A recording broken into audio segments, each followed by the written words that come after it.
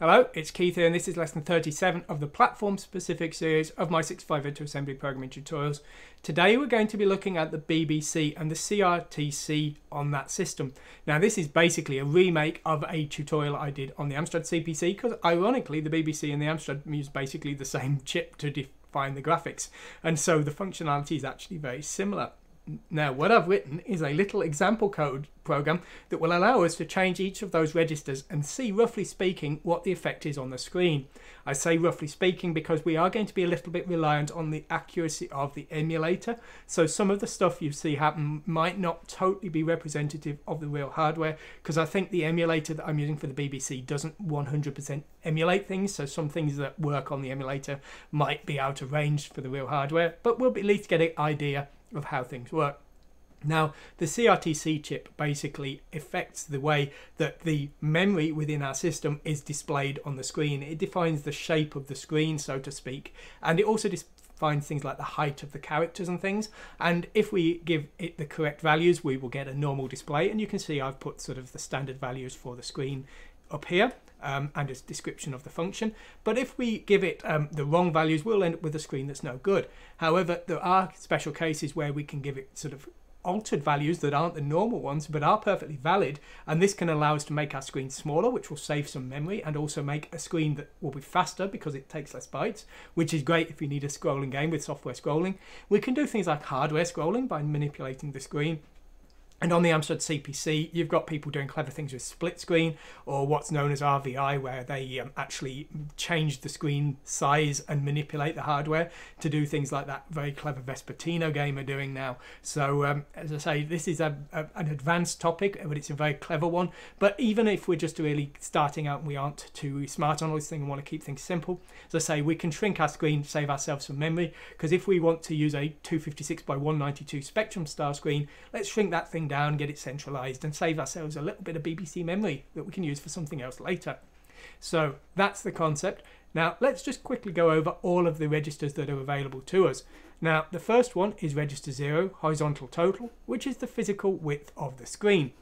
Horizontal displayed is the logical width and that's in characters, so that's how much of the screen actually has data on it and then there's the sync position which effectively defines the actual position of the screen. We'll see all this later in more detail. We've then got the, the, horizontal and vertical sync widths. This is relating to how the screen redraws. There's, a, there's an off-screen area. We will actually see this just later on, you see. Just This is the off-screen area that defines where the screen ends and starts as the, um, the beam is redrawing the screen. And if you mess with that, you might get some undesirable effects. And this might be also where the emulator isn't necessarily emulating things uh, to the extent we need. We've then got a vertical total, which is the physical height of the screen a vertical adjust, which is a scanline offset. I don't think you're going to need that. We've got the vertical displayed, which is the logical height in characters. This is the height of the screen, so in this case it's 2032, but we might want it to be 24 if we were emulating a spectrum. A vertical sync position, which is where the screen is vertically. Um, we've got interlace skew. This is something I don't think you're going to ever need. Maximum raster address. This is the number of lines per character.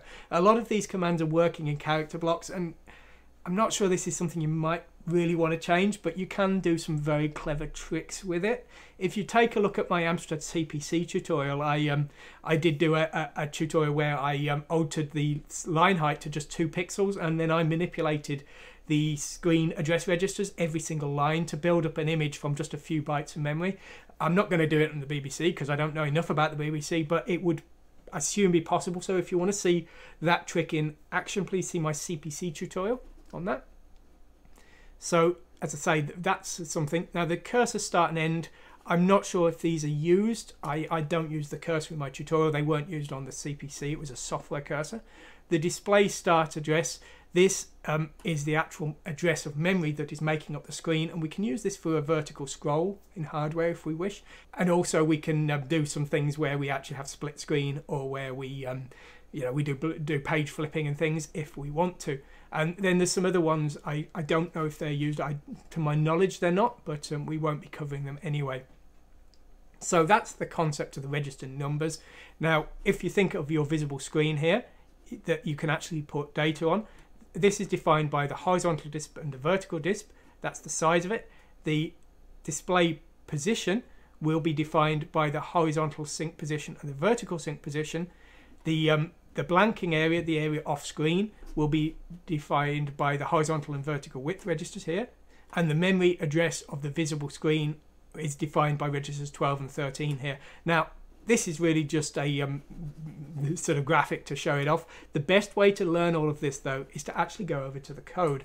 I thought it was best to sort of give a brief summary here, but actually we've got this little toy that I've made. Uh, this is a direct conversion from the CPC version, and hopefully this version works just as fine for the BBC fans. So if I just put this on top here. Now, here's my screen here, and you can see we've got this, um, this black area down here. Now, the way this function works is you can see here we've got a plus and a minus, and we've got a set of letters here. We've got a name of a register, and we've got a register number, and then we've got a value here in decimal and hexadecimal. And if I use a pair of keys, for example 1 and 2 here, I will actually change the value of this register. So 1 and 2 is H total, QW is H disp, and so on. So if I press 1 here, you can see this value is going down here. Now, unfortunately, I think this is actually one that's not emulated by the hardware. Picked a bad example here. So um, let's, unfortunately, the emulator isn't emulating that one. Horizontal displayed is definitely being emulated. You can see here, we're actually physically reducing the width of the screen here, but unfortunately that's messing up our characters. Now, obviously, if we select invalid values or values that are just rather tricky to work with, we're going to struggle to see the actual setting screen. And so we've got this thing called safe mode. If I press space, that turns on safe mode, and that will flip back to default values after each key press. So we can see the effect, but we can actually still see the settings to restore things. Okay, so let's have a play and let's see if we can make our screen look a bit nicer. So if I reduce the vertical displayed here, you can see my screen is getting shorter here. So how tall do I want my screen to be? Well, I don't want to be too tall because I'm now seeing parts of possibly the ROM there. So we don't want it to be that big. Let's um, just make it really small, just like that. Let's save as much memory as we can. And then if we now change the sync position, I think it is, we can now move our screen down here. So you can see we can now centralize this really wide screen if we want. Now, if we change the horizontal total, of course, with Q and W, we can make our screen narrower. We need to turn on the safe mode there. And then if we change the horizontal sync position, we can now actually center our screen. So that's now actually centered. Now, the problem, of course, is the graphics are all corrupt. Um, that's kind of the problem with this kind of thing is it's not just a case of reorganizing the screen. We actually need to make sure our code is showing graphics accordingly. So because the screen shape has changed my routines to calculate memory addresses don't work correctly anymore and would need to be reprogrammed. I'm, I'm just trying to give an example though of how you can play with this and learn some new settings. And then once you've got the settings probably write them down and then use those as a new initialization set for your game code. Now as I said before, the um, cursor ones, the height is quite interesting. Let's see it. There it is. I think it's you and I. Now you can see if we shrink them, our characters are reducing in the, their length. And as I said before, you can do some quite quirky things with this. Um, I don't think values over 8 are much use, but as I say, you can actually shrink this and then you can create a larger screen and do weird manipulation. But you are going to have to be careful and make sure your emulator is very precise or you test on real hardware, because if you're doing very, very crazy things like that, it just might not work on the real hardware. Anyway, though, hopefully um, this will give you some fun. Download this, have a play with it, and try some settings, and maybe you'll be able to work out how to create a screen. Either maybe you want a spectrum size screen, maybe you want a really tall, thin game screen for a pinball machine or something, or a very wide screen for a sort of movie style feeling. But um, hopefully this will help you out. Now, once you've got your register values, you just need to know how to actually set the CRT registers and it's very very easy all you do is you select a register with the port FE00 just store the value there and then the new value for that register FE01 will do that for you and the values are being shown here of course in decimal and hexadecimal so the register numbers here you would write FE00 and the value either in decimal or hexadecimal here to FE01 and that will give you the effect that you got when you actually saw it in these settings here. Okay, so that's really all I wanted to cover today. I just wanted to give you a brief introduction to this program, how you can have a play with it, and um, maybe you can figure some stuff out.